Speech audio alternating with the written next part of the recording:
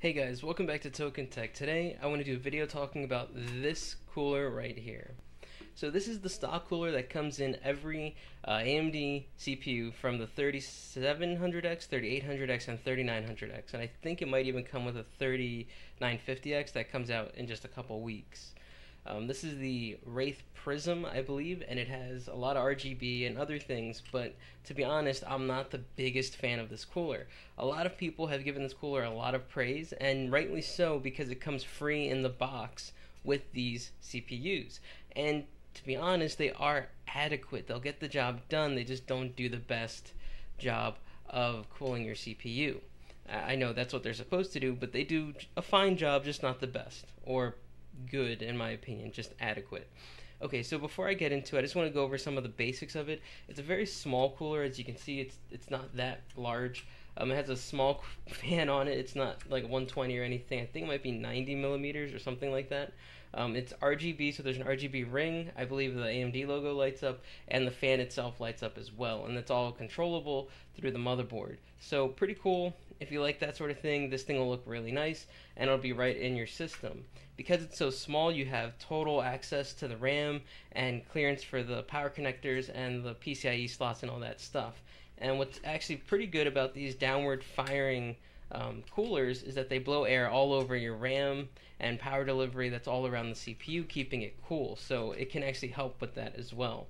Um, however, the negatives really start when you get to this mounting bracket. This thing is pretty like awful to use, so it almost feels like you're breaking it when you're using it. So be careful with that as well. Um, but really, it comes down to cooling performance.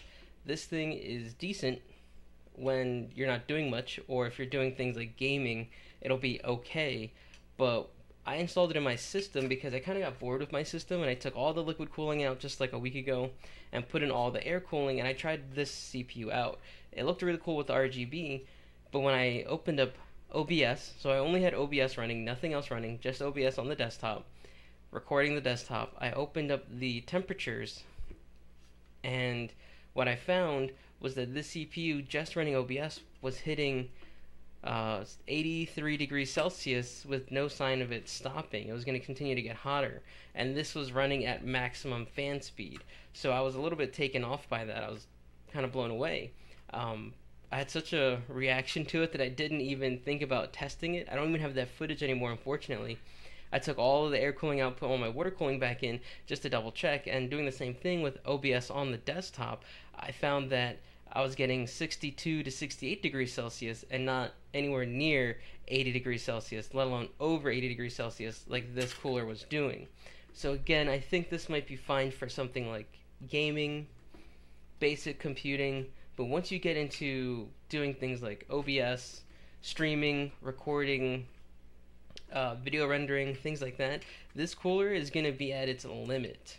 And remember, this is a 3800X, not a 3900X or 3950X. This is only an 8 core CPU, and just to break it to you, this was running at 3.9 gigahertz. It's not even boosting at all. It was just at its base clock, and it was still getting that hot with this cooler. So I just want to warn you guys out there who are thinking that you're just going to get this and you're going to start live streaming with your CPU and doing all that crazy stuff. I really wouldn't recommend it with this cooler. I would recommend going out and getting a better cooler, like a Noctua cooler. Um, what is it called? A Be Quiet cooler. Uh, who else makes good coolers? Well, of course, you have liquid cooling and all that stuff. Any of those good coolers, really nice coolers, will do the trick, but this one will not. This will get you by. It's great that it comes free. Um, if you just want a game and use basic computing stuff, this will be just fine. But if you're trying to be a streamer, if you're trying to record stuff, if you're trying to render videos, if you're trying to do overclocking and stress testing and things like that, this cooler is not for you. Well, let me know what you guys think in the comment section down below. What have you found with this cooler? Have your temperatures been better than mine? Um, let me know down below, and I'll catch you guys in the next one.